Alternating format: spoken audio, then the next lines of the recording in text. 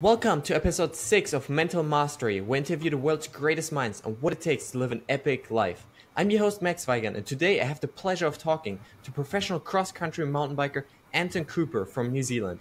At only 23 years of age, he has already set out to conquer the biking world by winning both the junior and under 23 world championships, being the youngest winner of the 20, under 23 World Cup of all time, and winning the Commonwealth Games 2014. After missing the Olympics 2016 due to chronic fatigue, he came back stronger than ever and in his latest World Cup placed second in the elite race by only an inch behind the current Olympic champion. So Anton, welcome to the show. Thank you. Thanks for having me.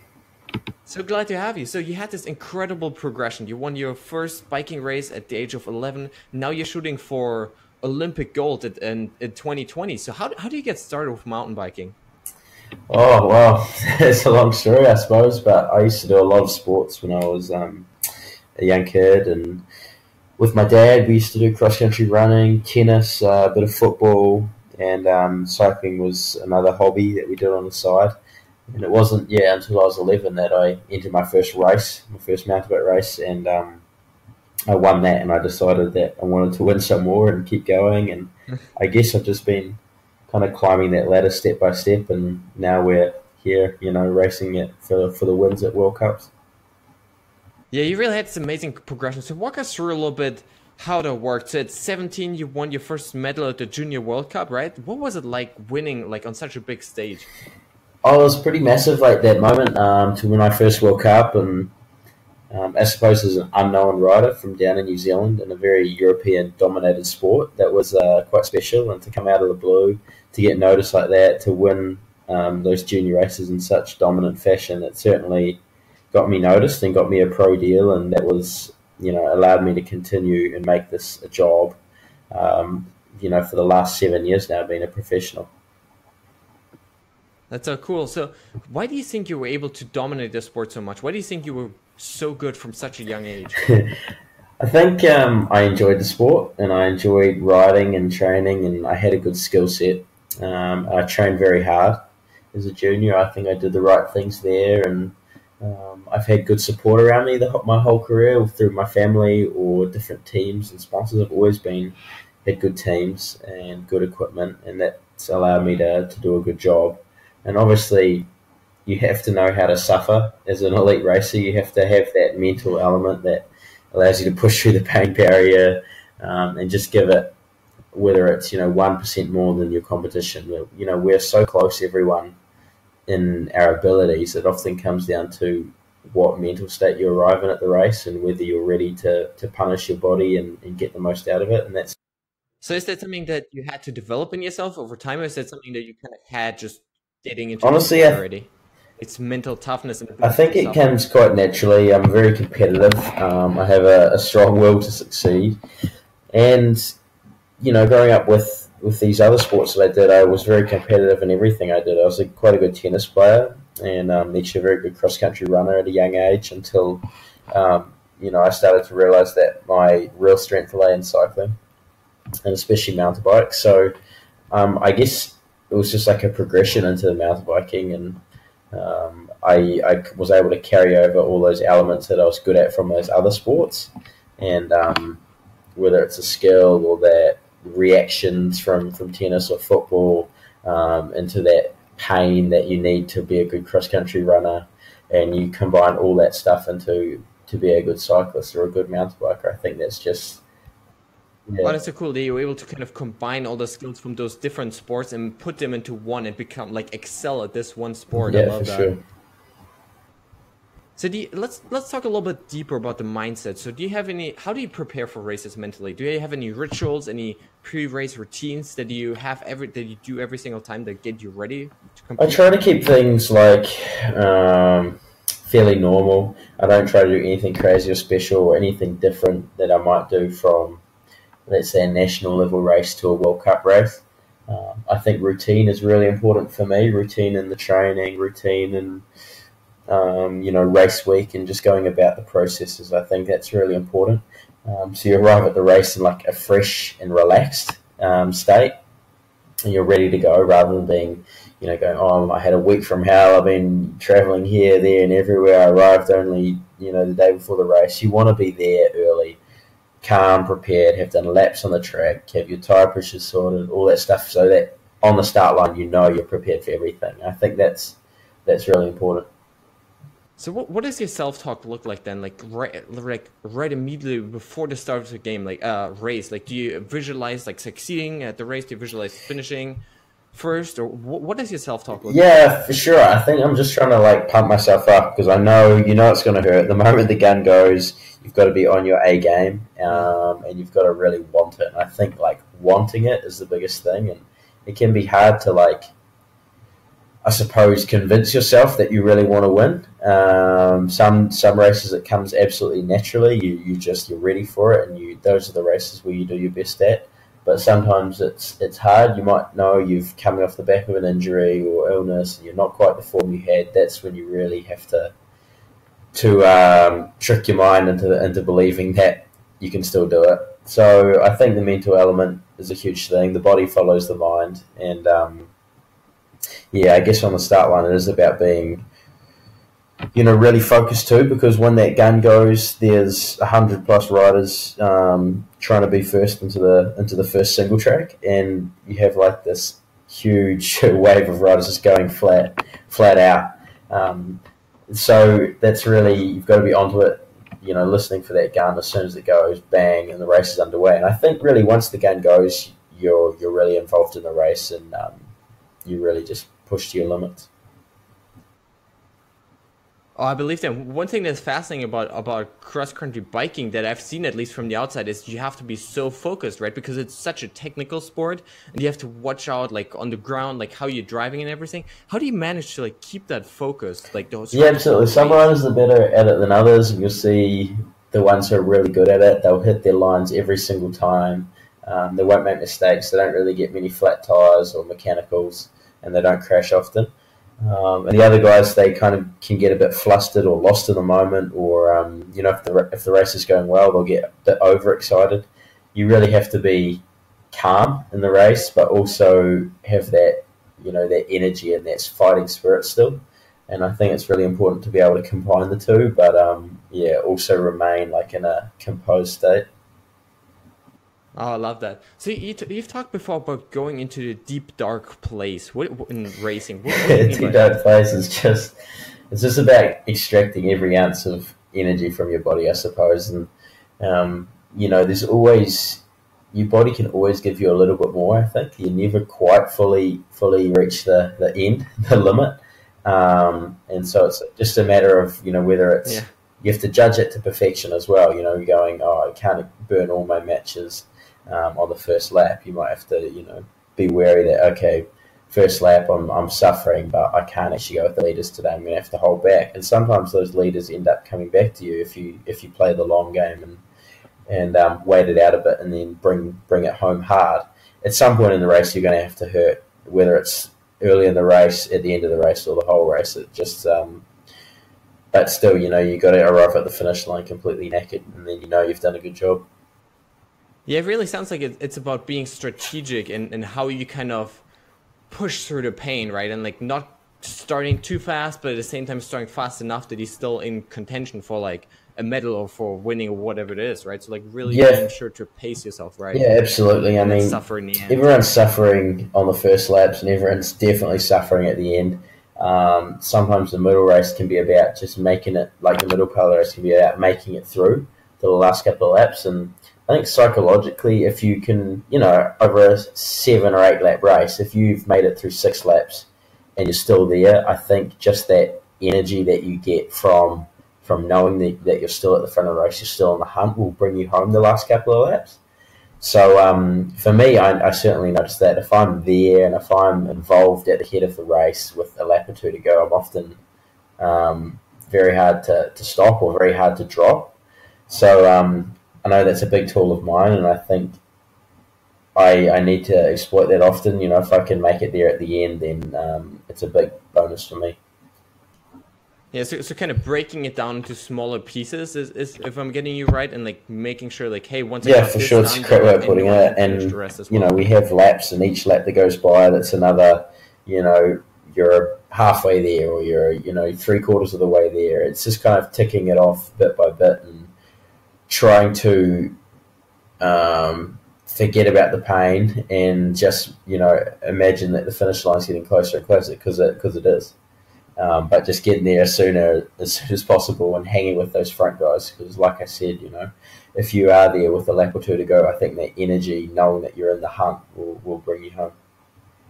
Oh, so making sure first you're in contention for like like a good race, right? Like that's that's so inspiring sometimes, right? Like when we know like, hey, I can actually make something out of it is so much better and so much easier mentally than if I know like, hey, the race is basically over because I'm in the back anyway. So really making sure like you stay up front in the race, stay in a position where you can. Yeah, absolutely. And that was kind of if I look back to Mesto, that last race where it was a, a, super close, you know, race for the the win there. Um, I actually, I mean, I wasn't at the front of the race right from the start, but I was near it and in contention. So after a, a couple of laps, I hadn't like spent all my energy. I knew I'd ridden within my limits, and like halfway through the race, I was like, yeah, I'm still within sight of the leaders, and it's a lot easier to be for your mind to be passing riders. So if you're going forwards, then starting the first few laps at the very front of the race and, and only going backwards. Um, so yeah, I just feel like if you if you're riding around tenth and then you're building, you're passing riders, you're like suddenly, oh man, I'm fifth, I'm sixth. Suddenly, oh now I'm, I'm second, third on the podium. I think that's a lot more mentally rewarding or energizing, especially as the race wears on, to be going forwards rather than backwards. And um, that certainly played a factor in that last race, and, and uh, I think got the best out of me. Oh, for sure. And I, I mean, I, I, watched a video of, of your last race where you took second behind the current Olympic champion, and it really like you could see you like yourself like just coming from behind and like getting so close to the win there. So, so what was going so well in that race? Well, I think there was I mean, the body was there, and that's really important to have good form. Um, but also, I suppose mentally, I was quite relaxed heading into it. I knew what I was capable of, but there wasn't a huge amount of pressure on either. And um, the weekend before, I had a good one, so I knew like the only way was up. Really, I was going to do better than the weekend before, but how good was was yet to be seen. And yeah, I guess once I was in the race and once I was like in the top ten, then in the top five, it was just like, well, I'm I'm here, I'm capable of the win, so I'm really going to go for it. Wow, I love that. so, so, Anton, you had this kind of constant progression um, throughout like your junior ranks and then later until 2016 when you, when you had that sickness. So what happened there? Like, how long did it take you to kind of get back on track after you missed out on the Olympics? Kind of, I suppose, was compounded by the fact that in London I was I missed out because I was like a few months too young, and um, the federation wanted to take me New Zealand, but they weren't allowed to. So that was kind of disappointing, and then to miss out in Rio due to illness was well, not be able to even contest the um, the selection process. That was really disappointing. But I suppose in the scheme of things, you know, there's there's more years to race Olympics. There's certainly um, more years of racing elite World Cups and World Championships, and I kind of had to turn my attention to that. And in a way, it was about saving my career as well and my job because um, is what I'd done coming out of high school. It's what I really wanted to. Oh, to for be. sure. I mean, uh, I mean, the thing, the thing is, you like you still have such a long career in front of you, right? I mean, you're 23 now, so you still have what two or three Olympics still in front of you. Yeah, poten- you know, I say definitely um, two and potentially three um, at a, at the top level. And you know, I don't want to go to Olympics and, and finish you know tenth, fifteenth. I want to go there and get a medal. So I want to be there in good form. And, and the next ones, I believe I, I can be um, contending for those spots, which is something really positive. And you know, looking back at the 2016 year and the time I had off, in the end, it was probably four months off the bike, and it gave me a lot of time to reflect. And um, I needed surgery to, to fix some health issues, and was able to come out of it I suppose, really motivated and really refreshed by that whole break. And, um, and I'd hit like rock bottom. So the only way to go forward was, well, well the only way um, was up from there. So that was kind of nice to be having a blank canvas, you could say, and just going, all right, I'm starting. It was almost like starting my and career. one of the most fascinating things or, or, tragic things at the same time I, I read about you on your blog was the 2017 World Championships where actually your saddle broke like during the middle of the race. What was going through your mind like in that moment? Yeah, that was pretty disappointing. You know, I kind of had some good results early in the year and then a bit of a, I suppose, mid-season like slump. And then, you know, World Champs was like that that next race where I felt I was really on good form and um, I was having a great race riding around like a group from kind of fifth through to eighth. So I had that potential to be you know, a really top result. And um, on the last lap, or you just come into the last lap, I crashed down this rock garden. And it was something I'd ridden, you know, hundreds of times throughout different World Cup years in practice, but just this one time I got a bit wrong and broke my saddle. So that was pretty disappointing. I had to come into the, the tech zone and, and get it changed. And um, yeah, it was just like, I don't know, a frustrating thing. And I, I ended up finishing the race in 16th, but there was, you know, about 10 spots lower than I'd really hoped. And at the biggest race of the year, that was um, pretty disappointing. But, you know, at the same time, it picked myself up off the ground and got the job done in the end. So um, I can still be happy with it. Oh, for sure. At least you continued and like still stay strong mentally, and that's why you're able to finish still well, even though that happened. So, so that was great. So, what do your future plan looks look like? Like, what's on your bucket list for this year and the next few years? Um, you know, this year I want to. My big target is the world champs at the end of the year. I want to want to do well there. Hopefully, get a medal. Um, it's a big big target, but it's probably I believe it's attainable uh, this year. And then you know, there's also we got oh hmm, four more World Cups uh, to go, and um, I want to you know hopefully take a win at one of those, or at least be on the podium in a few of them, and um, that would be a very satisfying year. Next year's. Uh, you know, another another big year, like always, leading up to Olympics 2020 with the Olympics. Um, obviously, want to get a medal there as well, and I suppose short term, um, those are the goals, and then yeah, a bit longer term would be to just have a good, successful career and win some elite world titles and, and Olympic uh, Olympic gold medals. Wow, that sounds amazing! Definitely a good goal. yeah. I'm really curious. What does the life of a professional mountain biker look like? I know you you're traveling through Europe right now racing, but what does your daily life look like? Well, at the World Cups, it's um, you know we don't see too much. You know we're in beautiful places, but you know we're outside riding our bikes pretty much at the track and easy spin on the on the road for an hour or something as a recovery day, or we're you know relaxed or cooking, eating food um, to recover at our hotels. So it's very much um, you know, a hotel room or apartments to uh, the racetrack. That's kind of that the lifestyle is within like a, a 5 10k radius. Um, so you don't see too much there. Uh, wow, so no shopping trips. No, exactly. No, no big trips to town or anything. It's pretty much just, um, especially not the World Cups anyway. You're really focused there, and uh, you want to do the best job. Outside of that, you know, I'd be based at home or um, based somewhere in Europe just doing some good training kilometers, getting those Ks in, uh, and basically just trying to sharpen up for the, the big races. Oh, for sure. what's your favorite place to train at? Home. You know, you can't beat home, mate. Oh, for me, the best spots like is Christchurch in New Zealand. It's where I live. It's it's why I live there because well, I grew up close to that area. I know the trails very well. There's great roads. There's great um, you know services with all my sponsors and, and bike shops and all that stuff in that that area that I use. So obviously having all your friends nearby as well that's really important. And um, coming home at the end of the season, being able to train well over the New Zealand summer, which is the European winter, is quite nice for me. And um, to be able to catch. Oh, that's yeah, true. You got the perfect combination. Exactly. Yeah. I get a lot of summer, so to be able to catch up with um, friends and family at home as well is, is really nice. Oh, that's awesome. So for any aspiring mountain bikers or athletes, do you have any tips or advice on how to get the best out of themselves? I suppose, you know, keeping it fun is, is very important because if you're having fun, like you're relaxed and that um, you will race well in that sense. You don't want to be feeling like the whole thing's a chore, and you're always drained yeah. from doing this. Oh, do I have to race? Do I have to do that? Do I have to, you know, push my body to the limit? You want to, you want to do it, and it has to come naturally to you, and that starts with having fun. Um, and I suppose learning from your mistakes and errors as a pro cyclist is hugely important.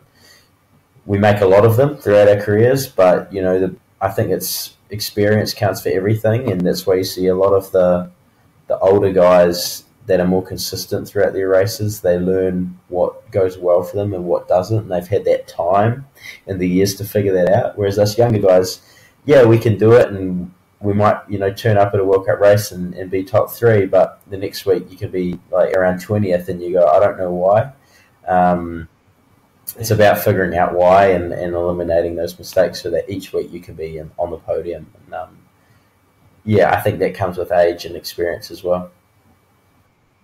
Love that. So, so do you have like a, a, regular like reflection process? Anything that like after every race you go back, you think like what went right, what went wrong? Do you have any? I don't have like a sit down process or anything like that, but um, I certainly make sure to learn from what goes wrong and, and actually yeah. also importantly what goes right.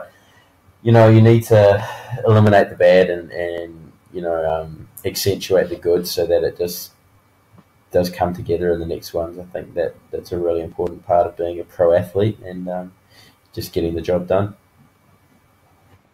Oh, for sure. So for this uh, year, better settle maybe. Yeah, yeah. Or maybe there's no crashing. That would solve the problem. Yeah. Yeah. Oh, for sure, for sure. Yeah, no crashing. so, Anton, do you have a favorite failure throughout your career? Any failure that actually later propelled your career forward? Oh, I, honestly, like it's hard to call it a, a failure because of um, I feel like it was a bit out of my control, and that that has to be 2016 and the health issues I faced there. It's more about, like I said earlier, it was it gave me a clean slate, and um, it was like a huge disappointment missing out on on Rio, and that's something that every athlete dreams of going to is the Olympics and, and performing well there. So to miss out on that when it was kind of going so smoothly in 2015 was hugely disappointing. And I think that will be the single most um, important factor that's helped drive me to become a better a better athlete and um, to get to where I am the, this you know, this year especially. It's all kind of yeah, and I suppose the last result at the World Cup was it all coming to a head, and that was the reward for all the hard work and and um, the sacrifice that's gone into getting back to where I, I want to be. Yeah, it is it's so interesting that you say that like you actually got better through that process. So what were some of the things that you did and then maybe you can suggest to other people if they're going through a hard time right now, they're having those setbacks, they may be injured, whatever. What are some things that people can do to actually propel their lives or their careers forward afterwards? Well, personally, I knew that I knew where I should be. I knew what I was capable of, and that's really important to know in your own mind. Even if other people don't quite believe it, it's that that you know. And um, you know, like I'd had big results before. I've been a junior world champion twice and won Comm Games and big big titles around the world. And for me, I knew something was wrong, um, and that you know the people close to me knew something was wrong as well. And that was you know came, and then we got that surgery um, or sorry, the the diagnosis um, and then the surgery, and that fixed my health problems. And from there, it was like, all right, now I want to go out and I desperately want to prove to everyone who, who might have ever doubted that this was an issue that it really was. And, and it's not something that I could really control. I was doing my best possible, but now I'm going to really make everyone. Uh, watch out for me and, and I want to come back stronger and better than ever. And that's that's pretty much my, been my goal, my target, and that hunger and desire is still there and long. Yeah, that, that's exactly what you did, right? Like you're stronger than ever now. Then, do you have a favorite mantra or quote that you live yourself, your life by? Honestly, I don't, and um, I know some people do, but yeah, I mean, I don't I don't have any quotes. I see certainly ones that I that I like and that um, appeal to me, you know, time to time, but nothing that really sticks. And I think for me personally, quotes and, and these mantras don't give me huge amount of um, motivation. I think they're like a, a, sticky plaster in a way for some people to go like, oh, times are tough. Here's a quote that'll that'll fix that and, and give me some temporary motivation. I think it has to come from deeper within these things, and um, it's my personal opinion that you have to always have that drive and that hunger and, and have a reason that you do it um, rather than someone else's quote or belief. That's a personal opinion, of course, but it's just what works for oh, me. for sure, I love that. So, so where does your internal drive come from? Like, what pushes you throughout, like the middle of a race when you're feeling that pain? What pushes you to to succeed and to drive even faster? well, you know, one of the things I, I've used throughout my career is, you know, you have to remind yourself that the others are hurting as well, and yeah. you don't get it. You know, I think the reward at the end of a race, uh, the most satisfying ones are the ones you've had to work the hardest for. And um, they're the tightest races or the ones that just come down to the wire. They're the most enthralling ones and the most um, uplifting, rewarding experiences you'll ever have. If you handed the race on a silver platter, it doesn't quite have that same meaning to you. So I think, um, yeah, in the moment when you're racing, you just you're gritting your teeth and knuckling down and, and going, I want to show the world what I got because this is the biggest stage in the world and everyone's watching. And um, I want to prove to well myself, but also that you know the the, the fans, uh, my sponsors, and, and whatnot that I am capable of of these big results.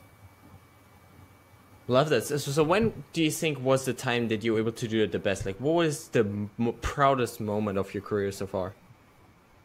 I think it has to be the last World Cup round. Um, it was the first World Cup where I've really been at the, the, head of the race. I had a third the year before, but I was never at the front of the race. You know, I think in the end I finished thirty odd seconds down on the winner. So you know, close, but I was never quite quite there. I was. Um, whereas in, in Nove Mesto, I was, you know, from halfway through the race, I was at the front of the race there and battling it out for the win.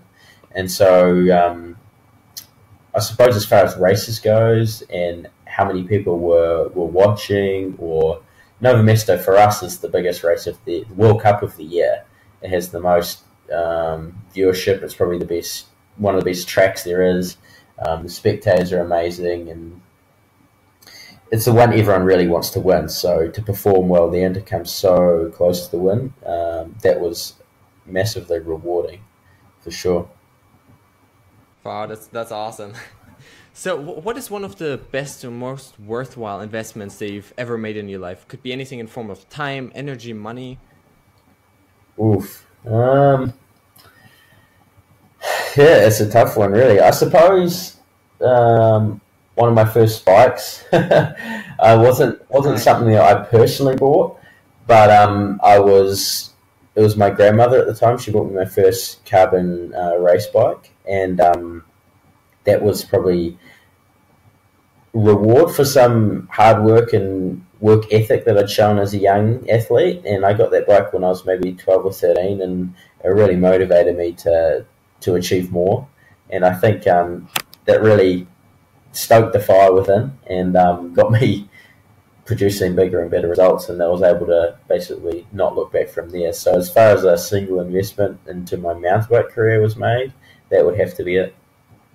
Oh wow, that's awesome! I actually read the story of, of uh, when there was an earthquake. I think it was 2011, and you actually lost your mountain bike like right before nationals. What what happened? Oh yeah, well New Zealand's pretty prone to earthquakes, but we had one in Christchurch that really um, kind of devastated the city, and a lot of buildings were closed. A lot of people lost their lives, and this this particular one, um, yeah, my bike was stuck in the shop, and you know, police court and everything, so we couldn't get it out. It was a few days before national champs, and they, they did talk about cancelling national champs altogether because it was such a you know devastating event for the, the country. But um, they went ahead with it in the end, which was sure. which was good.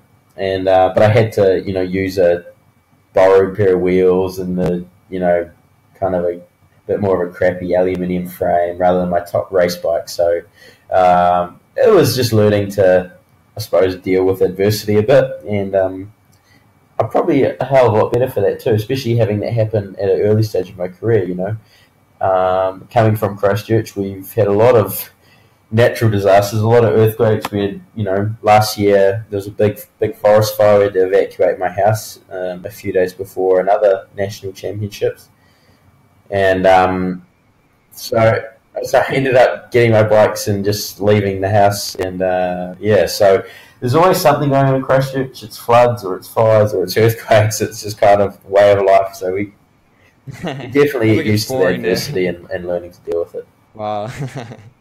Anton, before I ask my final question, where can listeners connect? I'm on um, the best place to follow me and what I'm up to. Well, depends what you're into. Social media, Instagram, I have. Um, also Facebook, I have an athlete page there, and Twitter. I am on all three of those. Um, and I have a website which is just antoncooper.co.nz and that kind of has a more in-depth analysis I'll put up after each World Cup, normally within a, uh, two or three days. I'll kind of run through my thoughts from the World Cups, and uh, there'll be a couple of photos to share on there. Um, anything on social media is normally a bit more brief. Awesome. So then, final question: What does mental mastery mean to you? You have to master your mind to um, to get the most out of your body. And for me personally, as a a pro cyclist and athlete, that's that's hugely important. I think I mentioned earlier that your body often follows your mind, and we have so many races together who are of a very similar, if not equal, ability. And so, for us to to make the podium, you really have to master your mind and um, get it to take over from take over the body from that aspect. I think that's uh, probably what it means to me. Well, thank you so much for coming on the show. And thank you to everyone who tuned in to today's episode of Mental Mastery. Tune in daily for new episodes on how you can achieve mental mastery and live a happy and successful life. And if you would like a little extra push, head over to my website maxweigand.com for a free ebook on mastering self-discipline and willpower. There, you can also sign up for my one-on-one habit coaching program where I help you master your habits and achieve your goals. Also, if you like this interview, feel free to rate and review the show. Until next time,